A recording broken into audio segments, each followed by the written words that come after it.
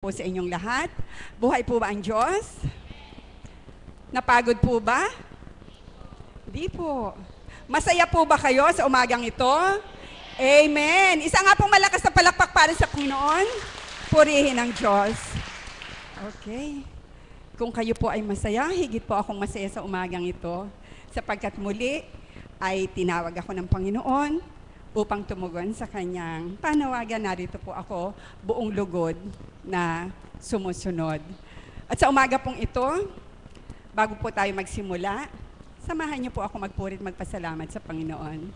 Sa ilang sandali ng katahimikan, salaminin po natin ang ating mga sarili. O amang mapagpala, lubhang dakila ka sa lahat. Kapangyarihan mo'y walang kapara. Ang pag-ibig mo'y hindi mapapantayan. Ang dunong mo'y walang katapusan, walang hangganan. O Ama, sa umagang ito, kami pong mga anak mo sa dambanang ito ay nagpupuri at nagpapasalamat sa isang umagang puspos ng pagpapala Nagpapasalamat po kami, Ama, sa aming kalakasan, sa buhay na pahiram, sa bawat kapayapaan ng aming kaisipan, tungod sa aming kalooban. Nawa po, Ama, sa araw na ito, bigyan mo kami ng pagkakataon, ang lahat ng alagad, tagasunod o pasyente man, bigyan niyo po ng pagkakataon at patnubayan mo upang maisiwalat ng buong galak ang kahiwagaan mo. Salamat po, Ama, sa mapakaraming biyaya ang aming natatanggap sa araw-araw. Salamat po, Ama, sa mga kapatid na patuloy na nagmamahal at umuunawa sa isa't isa. Higit sa lahat, Ama ko, salamat po sa iyong kinalugdan sa aming Apo Kunching na kung hindi sa Kanya, marahil, kung hindi sa matapat niyang paggabay, sa Kanyang mababang kalooban sa walang sawang pag-unawa, sa mga hinirang na alagad, gayon din sa mga tagasunod, dili kaya'y pasyente. Marahil, Ama ko, hindi namin ikaw makikilalang ganap. Kaya po, Ama, ang lahat ng papuri itinataas namin sa iyo sa kadakilaan mo. Sa pamamagitan ng anak mong si Yeso Kristo bilang divine mercy, aming pinaglilingkuran sa banal na dakong ito. Sa gabay at patnubay ng banal na Espiritu, sa pagkalinga ng Inang Birheng Maria at ng Apo Conching na kinalugdan mo. Amen. Palakpakan nga po natin ang buhay na Diyos. Alam ko po sa araw na ito ay maraming gustong magpurit magpasalamat sa Panginoon sa bawat biyayang kanilang natatanggap. At ngayon po sa umagang ito, meron tayong isang kapatid na alam ko pong siya ay nakita nyo kung paano unang dumatal sa dakong ito, na siya ay binubuhat lamang at siya nga po ay, sino nga po bang masasabi na sa pamamagitan lang ng tapal-tapal ng dahon ng atsyete, ang bali niyang binti ngayon ay nanauli na at malakas na nakagagala pa, nakapagbabike pa yata kung, kung ano man. Palakpakan po natin ang ating kapatid na si Nora Diaz.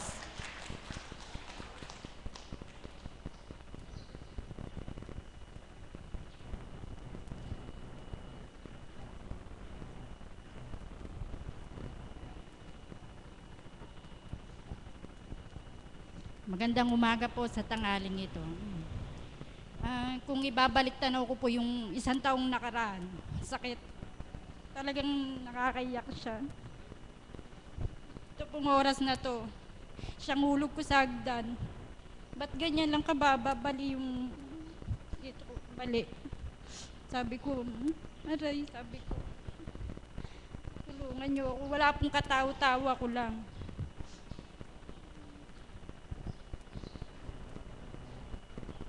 Pilit po akong tumatayo pero nanginginig po buong katawan ko. Hindi ko kayang tumayo. Pero nakuha ko pa pong umupo. Dumating po yung asawa ko. Mm, saan kita dadalhin? Sa ospital o sa, mang, sa Mangilot? Sa, sa Mangilot na lang, sa ospital. Ayoko doon, gusto ko sa Mangilot lang. Dahil naalala ko po yung gastos. Hindi po birong gastos nitong balimboto. Kung daan libo lang po, kakain to eh. Nung dumating na po kami doon sa Mangilot, na-stroke naman po yung asawa niya. Siguro po merong kulang tatlong oras nakaupo po kami doon naghihintay. Dumating po siya magang magana yan. Sobrang magana. Tapos po nung pagkailot, pagkaila po nung binalik na po sa dati, nilagyan po ng bangkat. Pauwi na po kami. Dumating po yung biyanan kong babae. Sabi niya, sabi ni Arlene, punta ka raw sa Dambana. Sige, sabi ko, hindi na ako tatanggi. Kasi nung una tinanggihan ko na siya. Sabi ko masusunog ako. Ayoko, sabi ko masusunog ako. Pero nung pagbaba ko sa papag, sabi ko hindi, ito na, ito na siguro yung paraan niya para makapunta ako sa Dambana. Kinabukasan po, alas 11 pa lang po, umalis na kami. Sa daan po, kahit maliit lang na bato, maano siya masakit, sakit. Hanggang dito umiyak ako. Tapos po nung ibubuhat na ako doon, binigla na naman po. Biglang itinaas tong isa. Masakit na naman, hindi pantay. Sabi ko, ipantay nyo, masakit, masakit. Sobrang sakit po. Nararamdaman ko po yung buto, nagkikiskis ang ganun, naririnig ko. Sobrang sakit. Alam niyo po, dito pa lang po, kinikilabutan na ako. Nung inapo po ako doon, lalabas na po siya po. Alam niyo po ba, biglang gumalaw itong mga daliri ko na to. Hindi siya gumagalaw, talagang masakit. Hindi siya gumagalaw. Paglapit po niya po, sabi niya, hindi kita gagalawin kasi may nauna sa akin. Ayoko makialam sa, hindi ako ang nauna. Kaya po pala, pagsubok lang yun. Tinanggihan niya ako ilang beses. Hanggang sa nakauwi ako, tinatanggihan niya ako. Pero alam niyo po, nung uling lapit niya, nagsisi ako sa lahat ng kasalanan ko. Hiningi ko ng tawad kung ano man kasalanan ko. Ano sabi niya po, bumalik ka kasyam na araw. Tumawag po si Arlene. Tita, hindi ka ba pupunta? Sabi niya po, kasyam daw ako bumalik. Pagsubok mo lang yun, tita, sabi niya, bumalik ka. May paraan po talaga ang Diyos para hindi ako mahirapan sa pagbiyahe. Ginawa po akong upuan ng asawa ko. Tatlong tao po nagbubuhat araw-araw sa akin. Punta rito. Pero po, wala na pong aray. Kahit batong malaki yan, kahit tukang malaki yan, daanan ko, walang aray. Wala na siyang masakit. Alam niyo po ba tinapal ko rito? At sweetie lang. Bulong lang po ng at sweetie. Nung ika isang buwan ko po, sabi niya po, pa, pa x-ray mo para maniwala ka sa akin. Nung nakikita ko, makita mo rin, sabi niya. Pina-x-ray ko po. Nung pinakita ko po sa kanya, ito yung sinasabi ko sa'yo, sabi niya. Baling-bali yung buto mo, sabi niya ganun. Tapos po, ikalawang buwan, pina-x-ray ko, ganun pa rin po, walang pagbabago. Pinagtatakaan ko po, walang kirot, walang aray. Lalo na po pagpunta rito, pauwi, masaya. Lumulundag ang puso ko po sa saya. Wala po yung lumbay, sabi nga po ng mga dumadalaw sa akin, para daw hindi ako napilay kasi blooming pa yung mukha ko. Eh ba't ko isipin yung sakit ko? Ba't hindi siya ang isipin ko? Sabi ng mga bayaw ko, ba't kayo natutulog dyan? Hindi nyo dalhin sa ospital yan.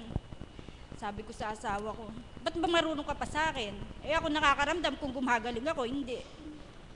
Sabi ko sa kanya, eh kung yung bundok nga kaya niyang tibagin, sabi ko, ang utak kaya niyang pihitin. Ito pa kayang maliit na buto na to, hindi niya kayang pagdikitin. Tapos po, hindi niya po ako kaya. Inano niya po yung biyanan kong lalaki. Kasi alam niya po, takot ako sa biyanan ko. Sabi niya, tara dalanda na ka ospital. Sabi niya gano'n. Ayoko. Nararamdaman ko dito ako gagaling. Kahit anong pilit po nilang ano, dalhin ako sa ospital, ayoko.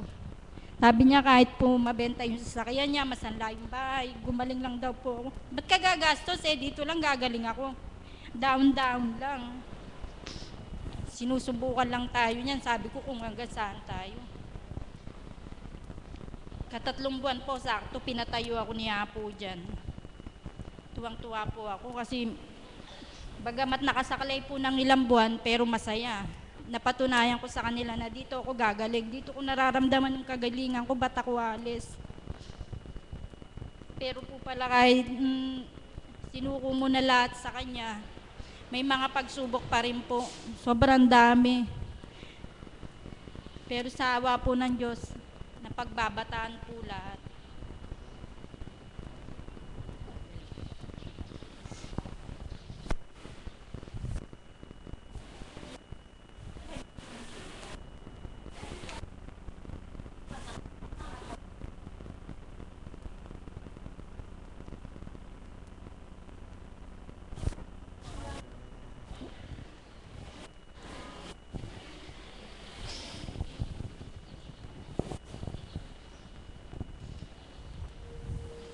Hindi po siya nakatingin ng kahit anong gamot. Pinipilit akong painumin ng asawa ko, yoko.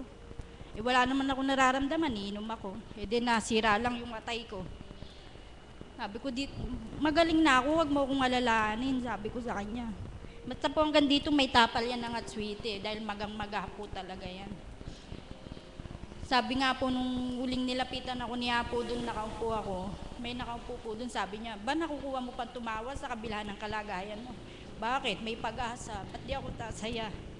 Dahil dito ko nararamdaman ng kagalingan ko, hindi lang pa ako gumaling, pati ito, nawala yung sakit. Talagang yung dating lumbay niya, wala na. Mabait na rin po yung asawa ko ngayon. Hindi ko man pong hiniling na bumait siya. Pinagkaloob din, bumait din po. Katagal kong hindi nalangin yun, ngayon lang natupad. Ito pong kakantayin ko sa panip.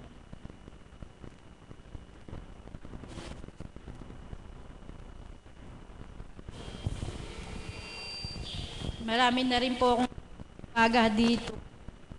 Katulad po nung sa bahay po, brown out. Ilang araw na po nagba-brown out.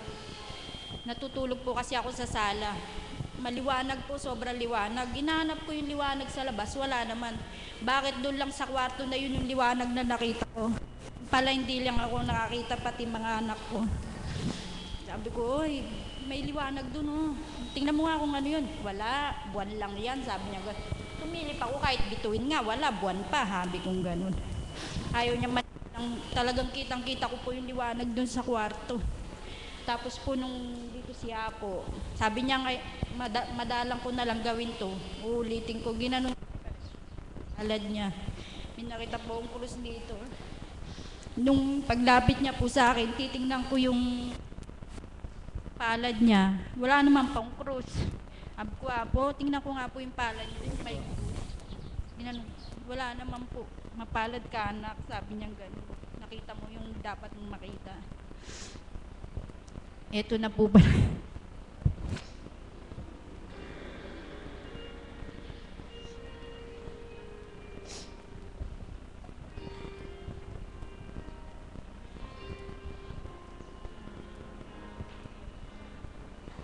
I was down and out and feeling so alone. You took my hand and here's my I was a strain, you showed me the way, and now I finally found my home in you. I'll still recall the time I've been through. Confused and didn't know what to do. Almost gave up, but you gave me hope. You make me strong as the days went on. You make me live again. I was lost in the dark with my lonely broken heart.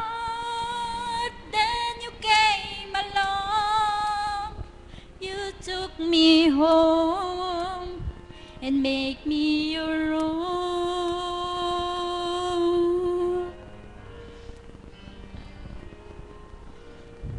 You were always there to lend a helping hand when good friends were hard to find. When things went wrong, you make them right. You make Day so bright. You make me live again. I was lost in the dark with my lonely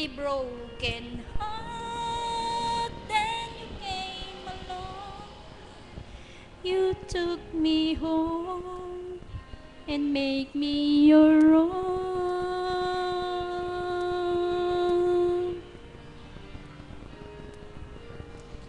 Now look at me, yes, a different me. Back on my feet again.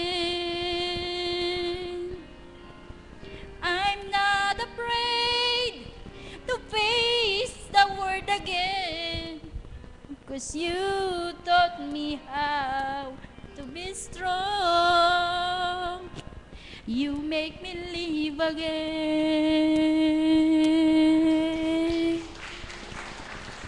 You make me live again.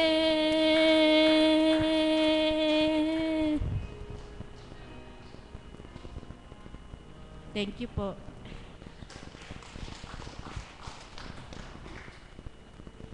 Maraming salamat sa iyo, mahal na kapatid. Alam niyo po, si kapatid na Nora po ay isa lang sa mga pasyenteng natungo sa dambanang ito na binubuhat lang. Isa lamang po siya at alam ko pong ito ay inyong nasilayan. Sapagkat marami na pong na pasyenteng nagawi doon kung hindi naka-stretch, eh, I mean to say, hindi siya nakahiga doon, may dala silang sariling ah, higaan, ay naka-wheelchair. Subalit purihin ng Ama, dakilain siya sa kapangyarihan niya, sa pamamagitan lamang ng dahon ng atsyete. Walang imposible sa Panginoon. Ang putol niyang binti, ngayon ay magkadugtong. Palakpakan po natin ang buhay na Diyos. Sadyang napakahiwaga po ng Panginoon at siya ay masurpresa sa bawat isa kung ito lang ay ating dadamahin. Alam niyo po, ang susunod ko pong tatawagin ay isang kapatid na kung saan nga po siya ay patuloy at patuloy na nananahan, nananalig, na kung wala din lang matindi o mahiya, malalim na kadahilanan, siya ay hindi lumiliban. Palakpakan po natin ang buhay na Diyos para sa ating kapatid na siningning.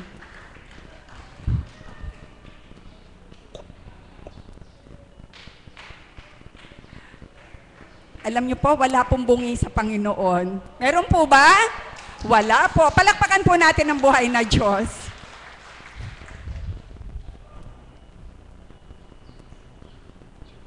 Bungi daw po kasi siya dahil nagpabunot siya.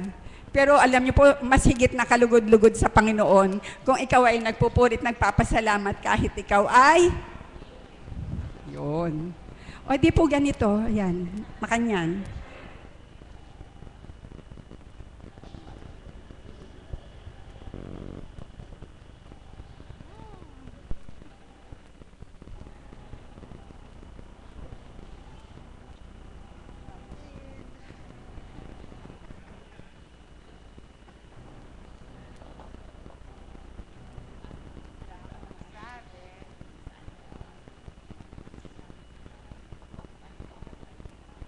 Tita Amor, gabayan mo ako. Asan ka, Tita Amor?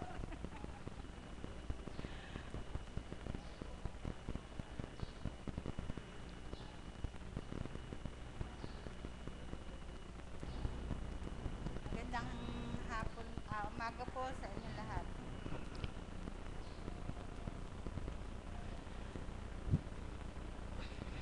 Ako po eh maraming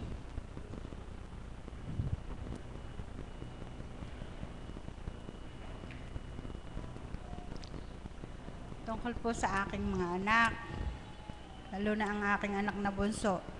Ngayon lang po, bago ako umalis, nakita ko po ang kanyang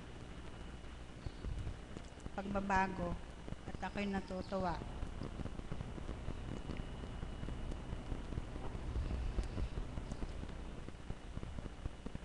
Gustong gusto ko pong laging nagsasalita at para ma maluwagan ang dibdib ko. Pero pagka po pala talagang kailangan tumayo na ako ay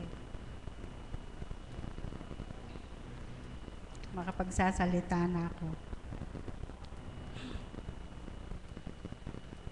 Marami na pong biyayang pinagkaloob sa akin ng Ama.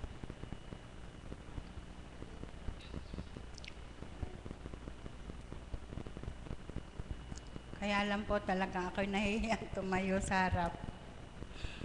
Pero alam ng Ama na kahit hindi ako tumatayo dito, ay alam niyang tuwan-tuwa ako sa mga biyaya niyang pinagkakaloob sa amin. Lalo na sa aking mga anak, ang pagbabago ng aking anak na bunso.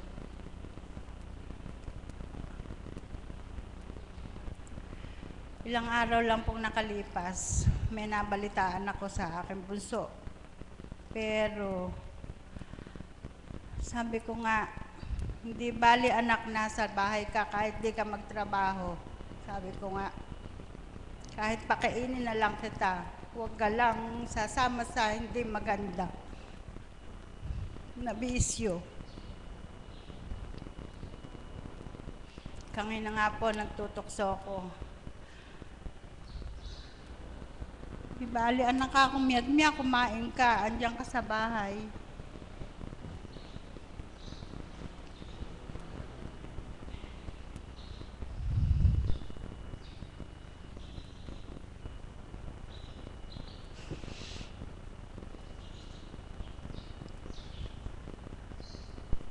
Salamat po.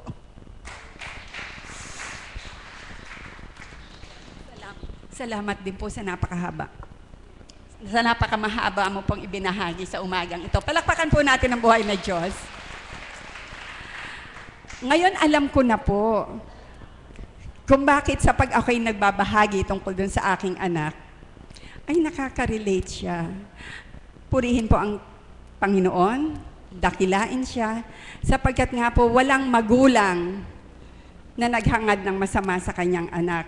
At kahit na nga po masama ang anak, wala pong magulang na makatitiis sa kanya. Alam niyo po, hindi po marahil marapat sapagkat ako yung facilitator for the day. Subalit gusto ko lang pong dugtungan yung ibinahagi niya. Ako man po bilang isang ina ay nagdanas din ng matinding dalahin sa aking bunsong anak. At kahit po ako'y alagad na noon, akala ko po ang sarili kong kaparaanan na makapagbabago sa aking anak. Subalit hindi po pala. Hindi po pala. Subalit nang ito ay inalay ko sa Panginoon, ipinabahala ko sa Kanya at sa araw-araw ay dinudulog ko na patuloy niyang haplusin ang puso at kaisipan nito upang hindi mapawalay sa Kanyang kalooban. Isang araw ipinagkaloob ng Ama ang takda, ang kagalakan at ang kalayaan, ang aking anak na dala, dalahin ko noon. Eh, pinalaya na po ako. Purihin ang Diyos. Palakpakan po natin ang banal ng Diyos. At para po naman sa susunod na magbabahagi sa umagang ito, nais ko pong tawagin si kapatid na Luz. Alam niyo po, itong kapatid ko na to, ay kung nakikita niyo po yung mga ibang, yung baro ng mahal na apo, at saka po ng birhen, isa po siya sa, siya po, yun. Kanya po, pakinggan po natin ang kanyang pagbabahagi. Palakpakan po natin ang banal ng Diyos.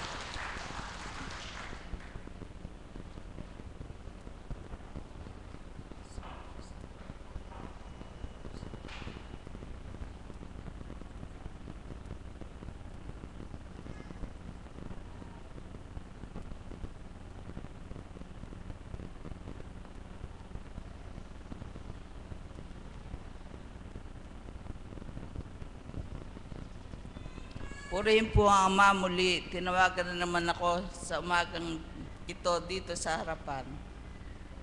Ah, nais ko lang pong ibahagi na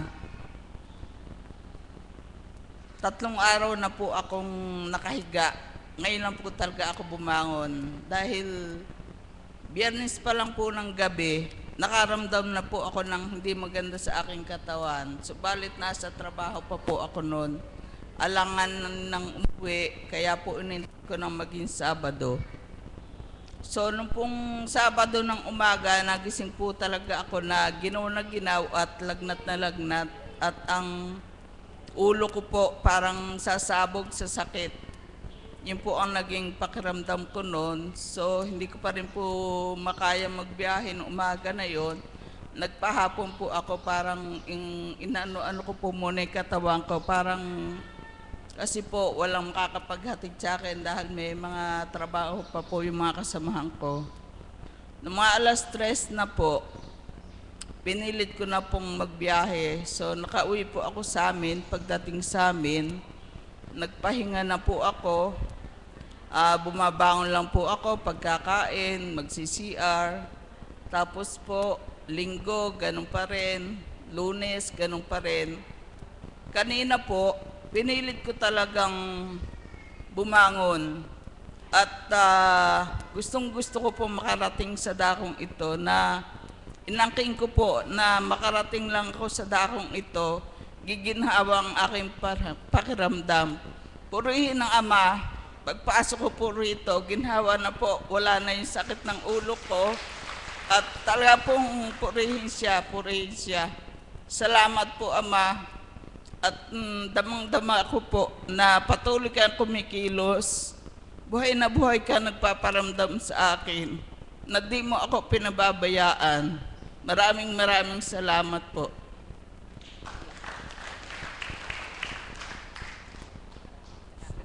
Maraming maraming salamat po sa iyo, mahal ng kapatid. Muli po, eh, publicly gusto ko pong humingi ng paumanhin sa inyo doon sa paalalang aking ginawa.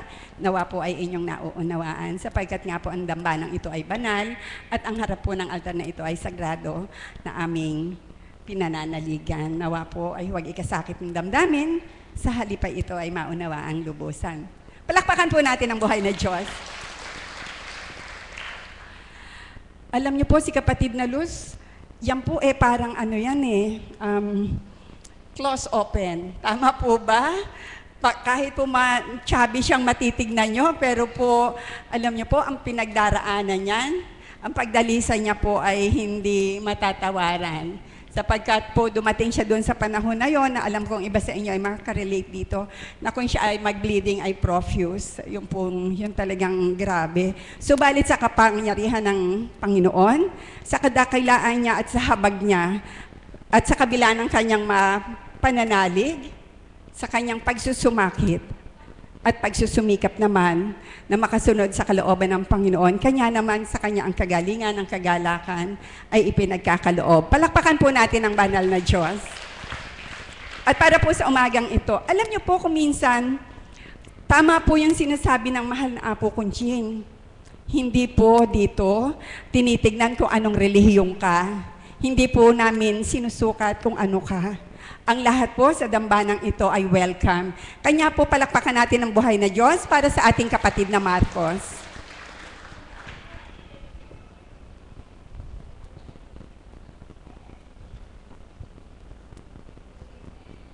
Ito po ako sa harap. Akala ko po lalos. Palakpakan po natin muli ang banal na Diyos.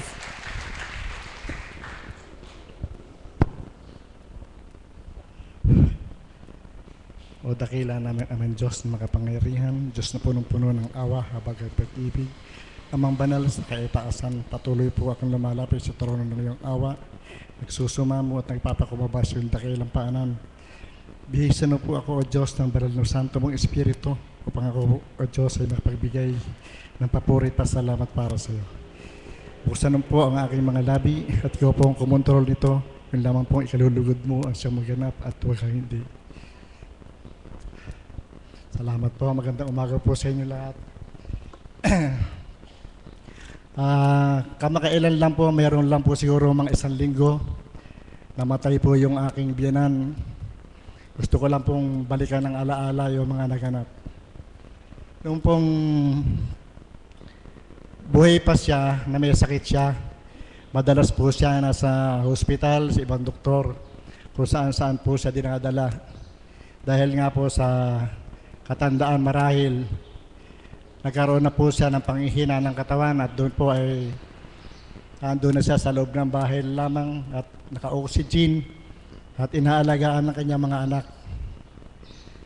Na pansin ko po na isang beses ay humiling ang sinanay na anak, tinawagan yung mga anak na gusto kong bago ko mamatay, ibilin niyo ko ng damit. Isang magandang damit. Tinupad po ng mga anak nila, bili po ng damit. Gusto rin daw po niya ng isang magarang ah, kabaong marahil at paglilibingan na maganda. At iyon naman po ay naganap ng mga anak niya. Nung pong dumating ang panahon na binawiin na po siya ng buhay sa takdang panahon, ay hinatid po namin sa huling hantungan sa memorial, nakapagsuot siya ng magandang damit at magandang kabaong. Napunta po siya sa memorial kasama ng kanyang asawa. Noong pong ihatid namin sa huling hantungan, nagnili po ako. Nahihatid siya na namin nanay sa huling hantungan. Paano po kaya namin mahihatid ang iyong kaluluwa sa harapan ng Ama? Yun po ang isang katanungan na iniisip ko sa ngayon na kung nasasaan po si nanay, kung nakarating nga ba siya sa harapan ng ama o hindi.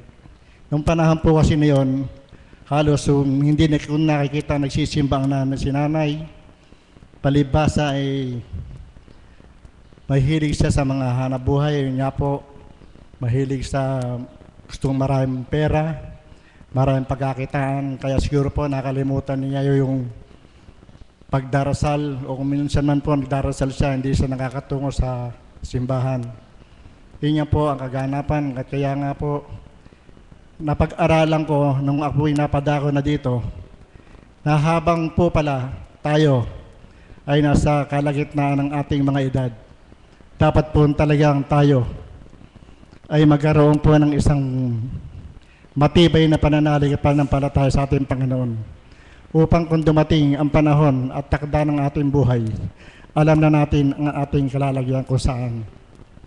Dahil po sa batas ng Ama, wala pong padri-padrino dito at wala pong palakasan. Kanya-kanya tayo sarili ng pananampalataya at pagdarasal kung paano tayo makakatugon sa kanyang gustong maganap sa ating buhay. Iyon nga po, naramdaman ko na ang tao po pala kailangan ngayon pa lamang po manampalataya tayo ng lubusan. Binuksan po ang aking puso ang ayon po sa akin natutunan nang makarating po ako dito naramdaman ko po ang mga pangaral at salita ng ating minamahal na Apo Kunsing na ang mga bawat mensaheng nagmumula sa Kanya ay bumabaong po sa kaibuturan ng aking puso. At simulan na po iyon para sa paglingap at manumbalik ang malalim kong panampalataya sa ating Panginoong buhay. Kasi po ang tao, meron pong dalawang partisipasyon ang kaisipan. Yung pong matalino at mangmang. Sa matalino po, sabi po sa Bible, ang matalino ay inaakay ng kanilang damdamin tungo sa kabutihan. Sa salita lang po ng kabuuran na inaakay, ang inaakay ay isang pag-alalay patungo sa mabuting gawain.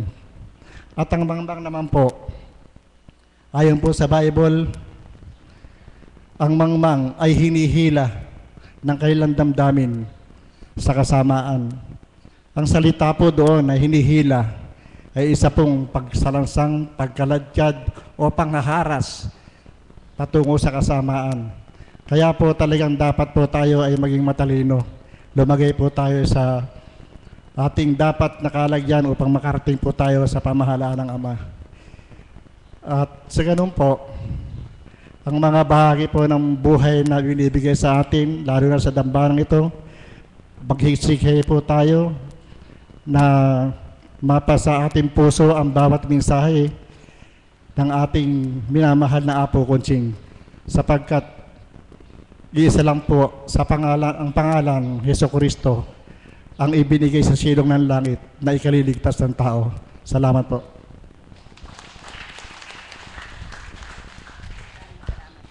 Maraming salamat po sa inyong magandang ibinahagi.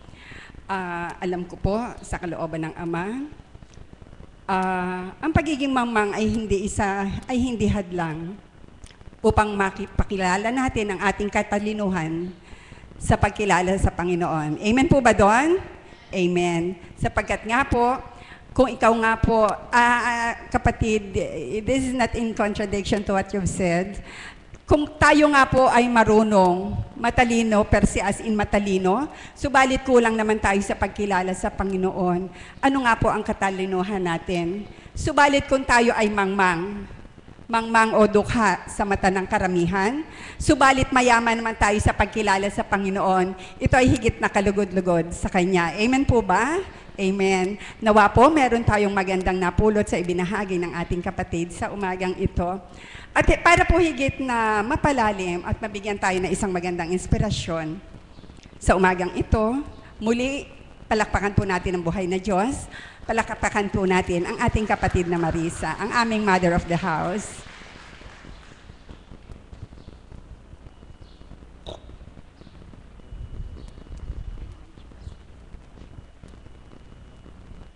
Papuri sa iyo, Ama, walang katapusan.